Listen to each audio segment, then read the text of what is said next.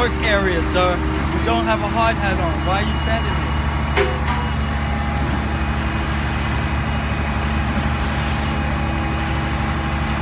Are you illegally taking my picture?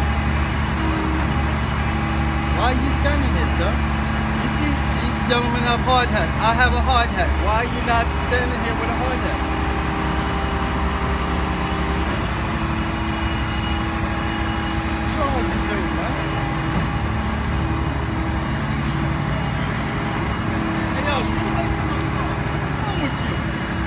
Here. What's wrong with you? Excuse me, sir.